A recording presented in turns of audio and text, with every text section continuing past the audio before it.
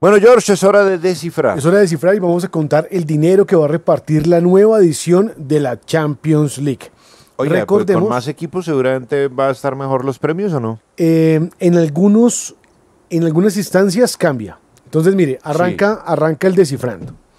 Hay un cambio significativo de formato ya explicado en 21 años. Correcto. Va a ser la edición número 70 de la competición que arrancó en el 55 Sí. bajo el nombre de Copa de Europa. Real Madrid su primer campeón. Listo, estamos ahí pendientes.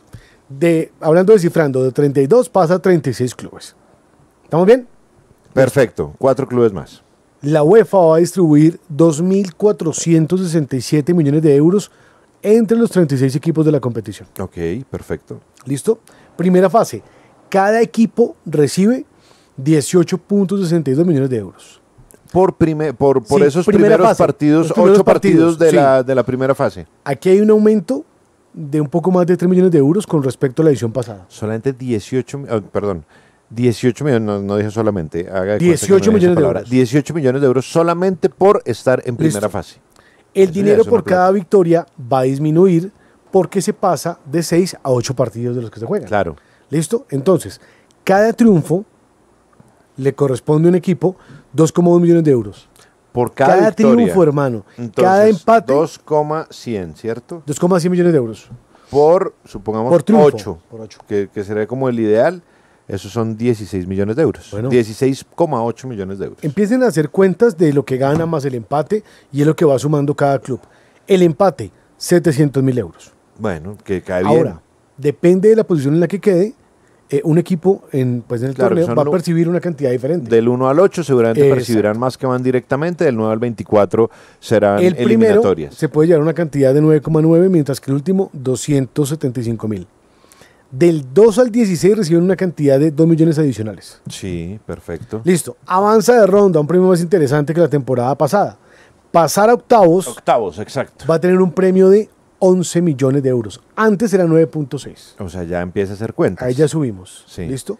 A O cuartos. sea, tiene 18 de primera fase. Póngale que usted logre de... Son 8 partidos, ¿no? Vamos a unos 10 millones de por partido ganado, 28. Y por octavos, ¿cuánto es? Eh, 11. Entonces 39 millones de euros Listo. ahí. Si pasa a cuartos, antes daban 10.5, ahora van a dar 12.5. bolsillo. Entonces serían 39, 49, 51 millones. Listo. Si pasa a semifinales, le dan 15. 51, 66 millones. Listo. Si pasa a la final, 18.5. Uy, no, o sea, usted se puede estar echando como 80 millones de euros.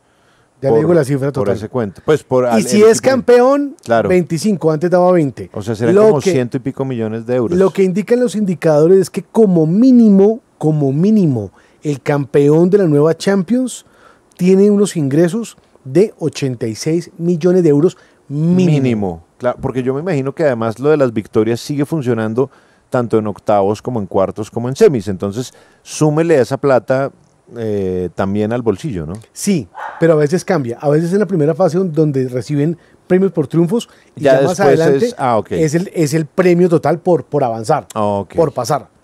Pero ahí como mínimo el campeón de la nueva Champions se va a llevar 86 Buena plata. millones de euros.